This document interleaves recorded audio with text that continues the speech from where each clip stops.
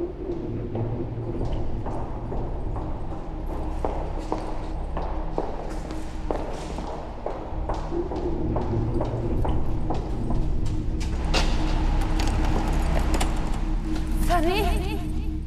Sunny? Sunny? Haben Sie mein Kind gesehen?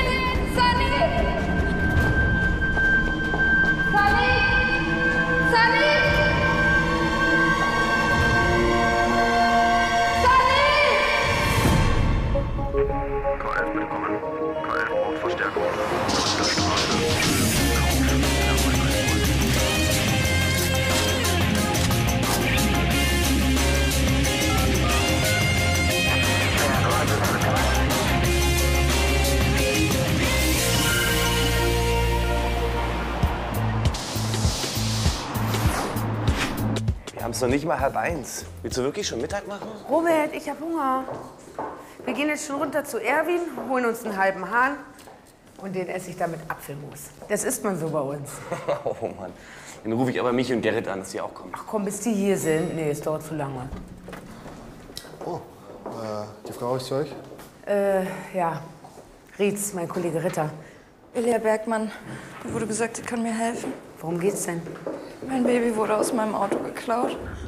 Was? Wann? Wo? In der Tiefgarage bei den Einkaufspassagen am Kaiserplatz gleich um die Ecke. Kommen Sie doch erst mal mit ins Büro.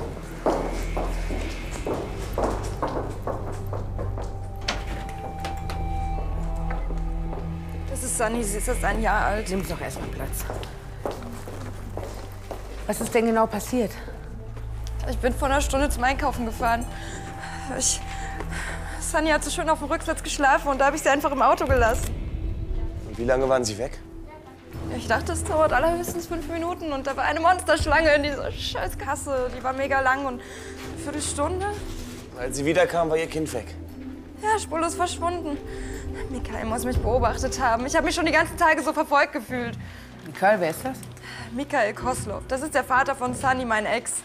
Er hat schon ein paar Mal versucht, Sunny zu entführen und nach, nach, nach Russland zu bringen oder sonst irgendwo hin. Und ich konnte es damals verhindern, deswegen wird er das jetzt auf jeden Fall noch mal versucht haben.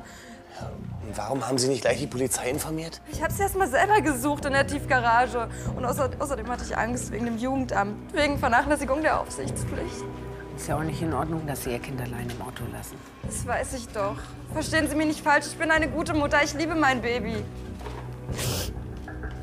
Könnte es denn sein, dass jemand anderes als Täter in Betracht kommt? Nein, das kann nur Michael gewesen sein. Er hat es ja schon mal probiert und er hat immer wieder gedroht, dass er sich Sunny holt.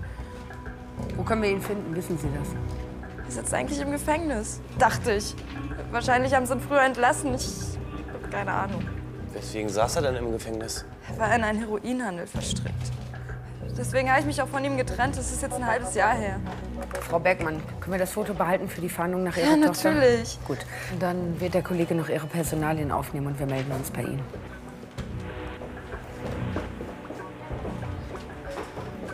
Wir haben bestimmt eine Kameraüberwachung in der Tiefgarage. Besorg mal die Bänder. Ja, gut.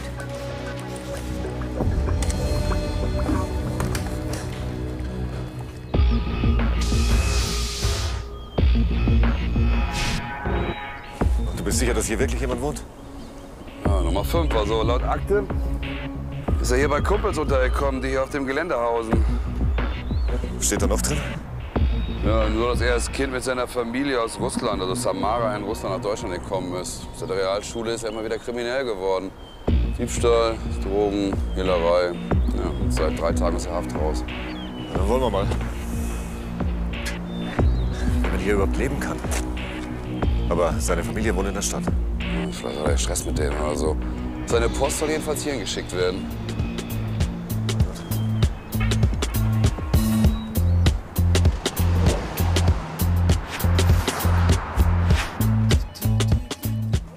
Da ist sie. Mal guck mal hier. 10.17 Uhr. Zu uns meinten sie doch, sie wäre nur ganz kurz in dem Einkaufszentrum gewesen. Ja. Ja, aber sie war schon um kurz nach 10 da. Bei uns war sie aber erst um halb eins. Mehr als zwei Stunden später.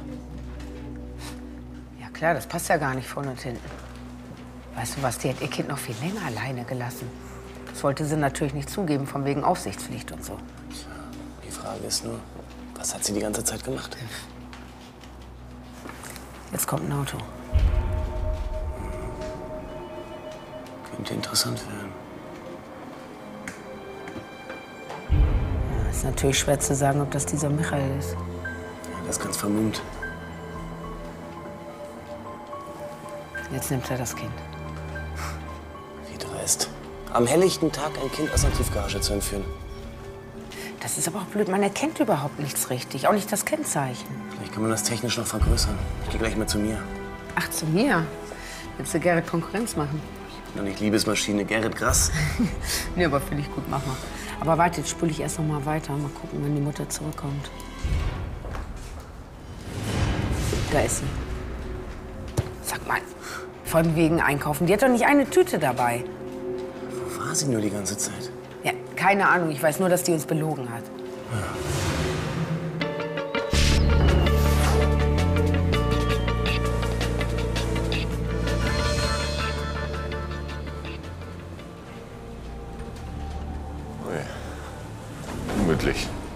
Du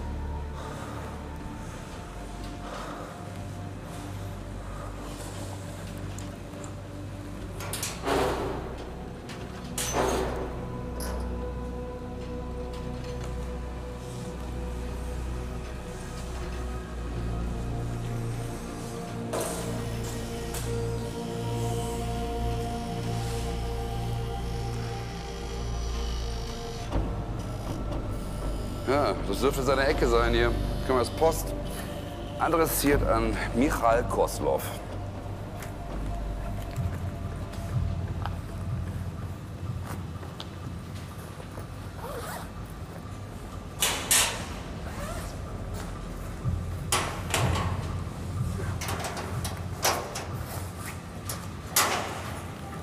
Seine Tochter scheint er aber ziemlich zu lieben.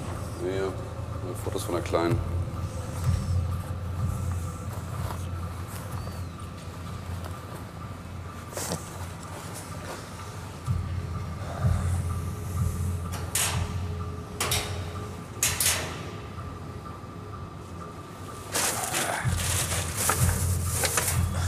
Michael, hier sind Babyklamotten.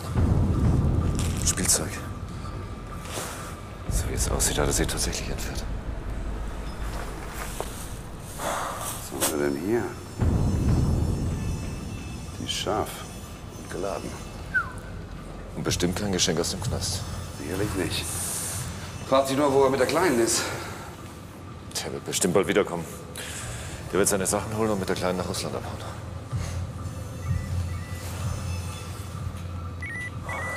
Alex, was gibt's?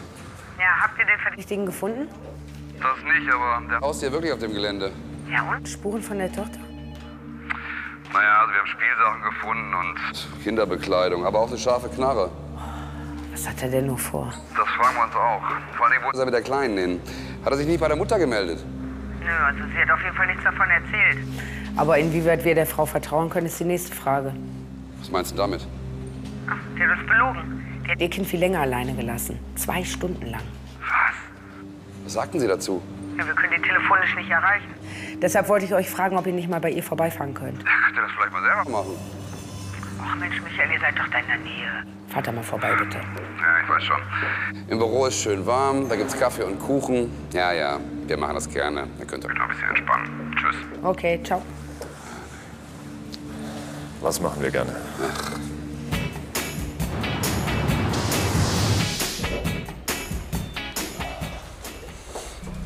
Tag. Ja. Bergmann. So. Hallo Elia. Hi, Gut, dass ich dich treffe.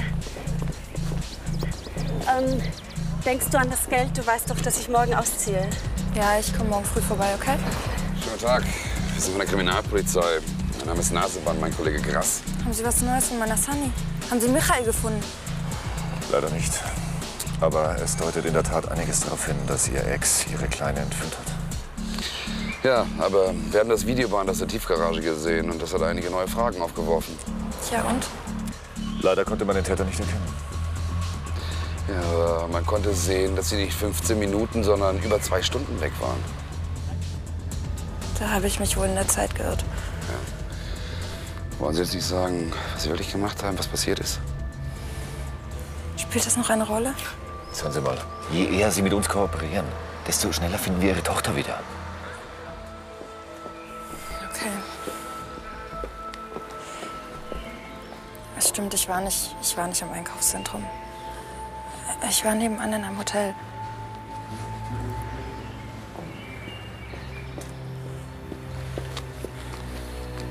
Ja. Ich war bei einem Kunden.